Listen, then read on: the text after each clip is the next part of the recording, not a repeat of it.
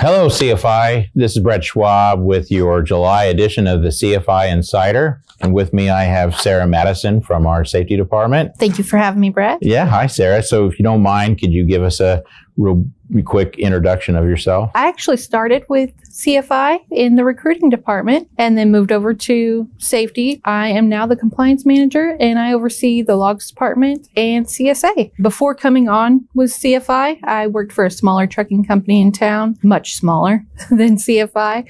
I was kind of a one man show in safety. So I have quite a bit of background knowledge in safety. So I'm excited to be on that team. Great. So logs department. So if you're not familiar with who I am, I, I'm currently the director of safety. I started here 25 years ago as a logs individual who it was a lot different back then. It was paper logs Paper log. and it wasn't um, the electronic logs. It seemed a little tedious. But anyways, I started there. And then a year later, uh, I had no idea what was taking place on the second floor, but somebody invited me to see the war room and I fell in love with uh, the war room, uh, became a member of the operations team and spent 20 plus years there supporting our drivers. And then uh, now I'm supporting them differently and supporting you all as well and happy to be a part of the team. So Yes, and we're happy to have you. yeah. Typically, we'll start off with a safety message. Many of you are aware of right now, heat is a big uh, topic, right? We see that on the weather, they're talking about this heat dome uh, and people expe- experiencing uh, heat related illnesses. They're talking about, you know, staying properly hydrated. Uh, and so, you know, we're going to provide you uh, a little deal from the CDC that kind of breaks down five different um, re- heat-related illnesses. Two of those that come to mind are heat stroke and heat exhaustion. Uh, while the symptoms seem very much uh, the same, there are a few things that make them very different, and how you react or treat somebody uh, is also very different. For example, with heat stroke, you don't sweat much. Uh, you may be uh, dry or a little damp is the word they used, um, but you may also have a fever of 103 plus. You don't give anybody uh, water or anything to drink when you're treating that one. However, with heat exhaustion, you are sweating a lot, but you should also treat someone with um, plenty to drink. The other thing is hydration. A lot of people wait too long right? They decide, hey, I'm going to hydrate while I'm out in the heat, and you should really be hydrating pretty much all day and all night is every opportunity you get, right? So I know you're working on your water I intake, am. so you should be pretty well um, Usually a. Dr. Pepper drinker, so Yeah. trying to get on the water kick. Good. It's good to see. I, I have work to do myself when it comes to that. There's a big event that's uh, going to take place in July. CVSA is hosting another one of their Operation Safe Driver Weeks. Yeah, it's actually July 9th through the 15th. They're going to be focusing on speeding. Also, some other things that they're focusing on is just unsafe driving behaviors in general. So that can be improper lane changes, passing on turns, uh, driving under the influence, um, using a handheld device, not wearing your seatbelt. That's probably going to be caught more during the actual stop itself. That is the majority of what they're going to be focusing on. Uh, it's not just for commercial motor vehicle drivers either. It's going to be for passenger vehicles as well. So it's all of the motoring public. you know, supporting a new role, I'm like, well, I better read what this is, right? It happens every year. If they have a Safe Driver Week every year.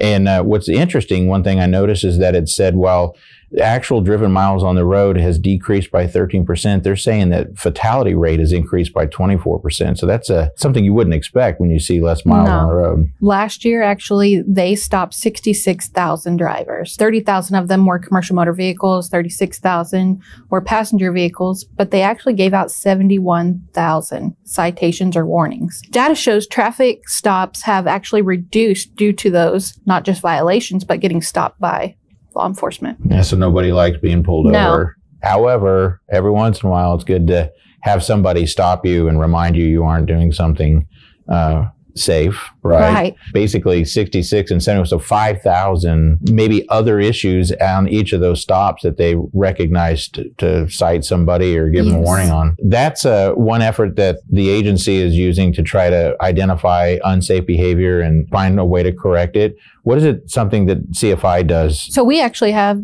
our event recorder team. It's managed by Greg Payne. What they are doing is they look at our cameras daily They're calling drivers, they're coaching them, um, they're bringing them in on the events that they're having. If they need some additional hands on one on one training, events that are coming in are the following distance. That's number one. And then speeding violations and harsh brake. We are working our best to get those ones down as much as possible just through that coaching. The big three. Yes, those are the big three. Yeah, so we watch those pretty much daily, right? Every, yes. we every have a, a daily uh, huddle in the morning with the leadership team, and we yes. I hate to call it armchair quarterback, but we do. We review, and when we have a camera event, we watch those as well. And it's it is um, it's a tough one to swallow, right? When you see that um, we have so many that aren't allowing enough space Yes. between them and someone in front of them, and uh, you know we did talk about that right in our last safety meeting. There's three things that go on. I mean, your mind has to tell you, hey, this is what's happening. So there's a delay there. And then it says hit the brake. And then the truck has to do its thing for the brakes to engage and then even slow down. We're starting to recognize we have drivers that aren't even giving themselves uh, that An chance. Yeah, they don't have an out. How are carriers measured, uh, whether they are a risky carrier or a safe carrier? So we actually are measured by our CSA score. What goes into that is every time driver's out on the road, they get stopped by law, law enforcement, they get a safety inspection. So you'll either get a clean inspection or you get one with violations. Those violations and clean inspections, all of it together makes up our CSA score. What goes all into that CSA score would be unsafe, hours of service, crash, vehicle maintenance, fitness, hazmat, and drug and alcohol. Yeah, it's a big so list. I hope I got those all. right. You're scored. The Mhm. agency posts that out there. Anybody can see it, right? Not all of those scores, but most of them, yes. Okay. Let's say uh, we have customers and they're looking at our scores. Our insurance company is looking at our scores. That can determine what freight we get. Um, if we're an unsafe carrier, obviously they're not going to let us have their freight if our CSA score is high. Everyone's probably pretty aware our hours of service score has gone pretty high, but it was due to, unfortunately, some of our ELD providers data was not working properly. It has been fixed. So in a short amount of time, we received a lot of those 14 hour rule violations. Within that short amount of time, that jumped our score tremendously. DOT unfortunately caught it before we could catch it. to be honest, looking at uh, our CSA or at least our daily violations for our service, they're they're fantastic. Oh, yes. I mean, much they're really now. good. Probably one of the areas we've improved the most on. Yes. But the score isn't coming down No. as fast as we like. So sounds to me like you can wreck your score pretty quick. How long does it take again to take that? So it can take up to two years. Two so years.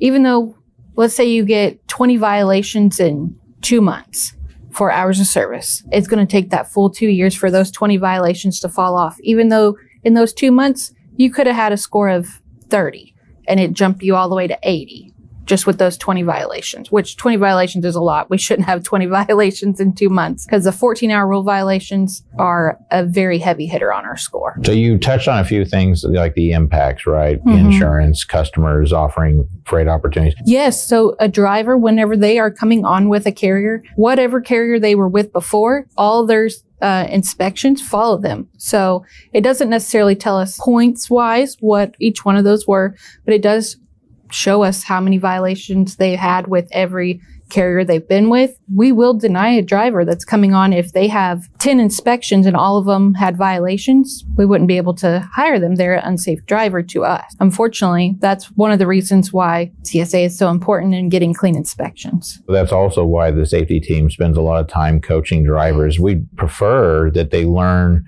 to do it right here, right? Yes. I mean, we want them to hire on here, be a part of the family forever and retire with us. Yes. We don't want them to make all those mistakes. And then certainly if they feel we're not a fit for them, that they can continue their career driving a truck because we do need truck drivers. So Yes. Sarah, I really appreciate you joining us. I know you guys do a lot of hard work. The whole team, the whole safety team. It's never a a, a, uh slow day in that department. Um, so thank you for joining us. Thank you for Just- having me. Yeah, just a couple uh, reminders out there is that the Heartland Driver Appreciation Calendar on Workvivo uh, is updated uh, and under events. You can find out when they're having those appreciation events. And again, all drivers are welcome to those Heartland appreciation events. So uh, if you can, stop by and attend one. I'm sure they're happy to have you there. Lastly, uh, there'll be some Workvivo Wednesday support sessions that will begin in July as well. Check out those events on Workvivo for more information. Great tool, learning how to use it, be effective. Um, that's what's important. Sarah, again, thank you for joining us. And remember, be the captain of your ship and everybody be safe. Have a great week.